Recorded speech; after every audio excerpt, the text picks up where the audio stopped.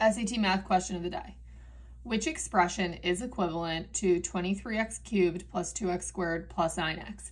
So it looks like here, if we look at our answer choices, they likely took out a common factor. So let's start with what we're given here and see what we can pull out of all three of these terms. So it looks like we can take out an x, so let's do that. So we'll write x outside the parentheses.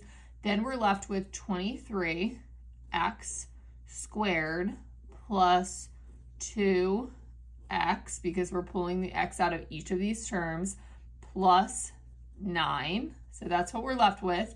Now let's take a look at our answer choices here to see which one matches what we got. So it looks like our answer is going to be C. Alternatively, you could have also started with your answer choices here and then distributed what's on the outside of the parentheses and see what gets you back to what you're given in the initial problem.